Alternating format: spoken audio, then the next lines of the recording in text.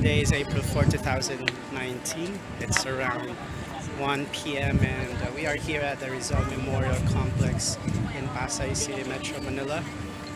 And we just uh, interviewed, met uh, professional divers.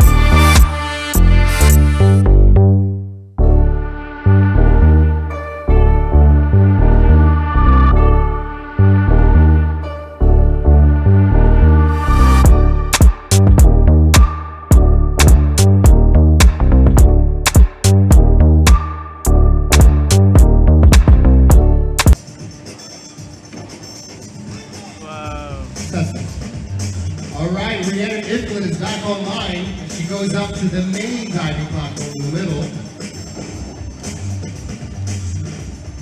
Xantheia, where are you at? I can't see you right now. Let me see a hand. Xantheia, way at the top. Make some noise for Xantheia! As she slowly but surely warms up. This is a very delicate sport. We need to give them time to prepare their bodies.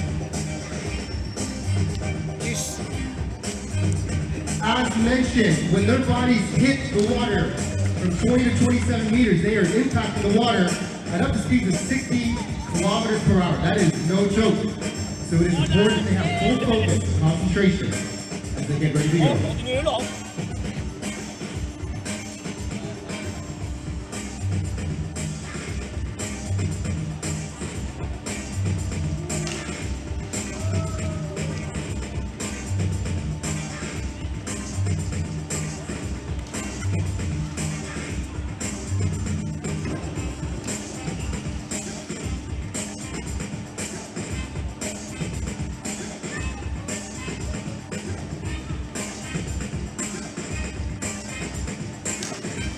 Beautiful dive. Well done, well done. Xantheia, give us a quick wave. What do you have for us?